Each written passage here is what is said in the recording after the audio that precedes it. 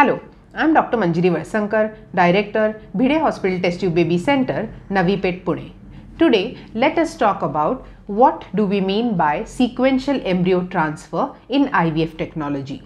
Now, we are aware that in test tube baby technology, we make an embryo outside the mother's body in ICSI or IVF machinery and once the embryo is formed, this embryo is kept in an environment in incubators which are exactly similar to the human uterus as far as the temperature, pH and overall conditions of the uterus are alike. Now, once we keep these embryos, we check for fertilization or division of these embryos on the third day and the fifth day.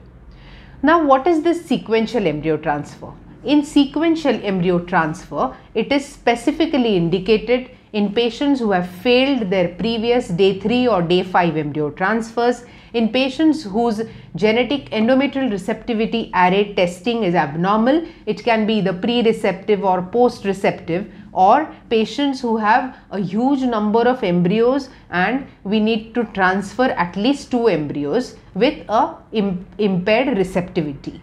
Now in these patients, in sequential embryo transfer patients, what is done is one embryo is implanted on the third day while the second embryo is carried forward for another 2 to 3 days and it is sequentially implanted in the same cycle by an embryo transfer procedure at the blastocyst stage that is at day 5 or day 6 which means in one cycle two times embryo transfer is done First embryo is transferred on the third day and second embryo is transferred on the fifth day.